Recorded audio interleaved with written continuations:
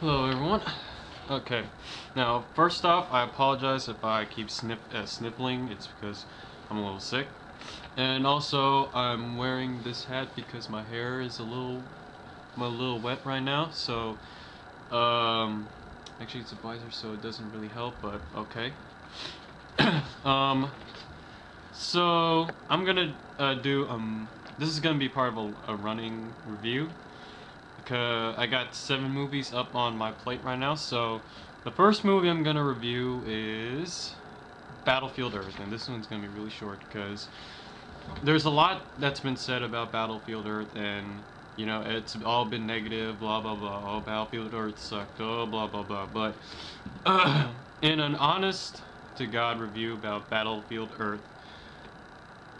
Okay, okay, it's pretty damn bad. Okay, but Battlefield Earth for all the bad stuff about it, at least there, oh, at least there's some, at least there's some sort of entertainment quality to it. I mean, like, when I think of a bad movie, I think of a movie that you cannot enjoy no matter what. Like, for me, the worst film I think I've ever seen in my damn life is Pearl Harbor. Like, I had no joy watching that movie, but Battlefield Earth, I went into it expecting that I, I would hate it, but some good parts about it were that like uh, you have to admit the aliens what was it uh, like the hairy looking the the aliens in the movie just have like these really like hairy kind of faces. They they look really hilarious. Like if Chewbacca kind of shaved off some of his hair. And you know, you know that's not only the funny part. The only funny part about it is like there's other parts like where slow, the slow mo actually slows down on some weird uh, parts that are kind of awkward. Like I remember the slow mo slowed down on. I think it was the guy from Saving Private Ryan. He slowed down while he like crashed through some glass. Like I thought that was kind of funny. And there's also some other parts that I made fun of. Like there was at the ending where the humans uh, revolt against the Psychlos, the Psychlos, they revolt, revolt, revolt against them, and yet it takes like a few ships and a few soldiers to take them down. When it when the Psychlos defeated the whole human army.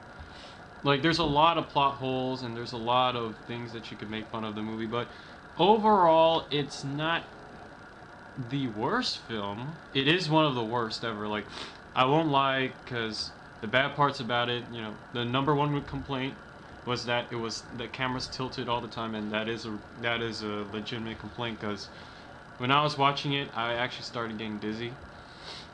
And there's also some other parts like the makeup and the costumes didn't really look convincing. And as a story, it's just there's too so many plot holes. Like they're look they came to Earth for gold, but yet they didn't notice that Fort Knox was like there, you know, where America keeps all this gold.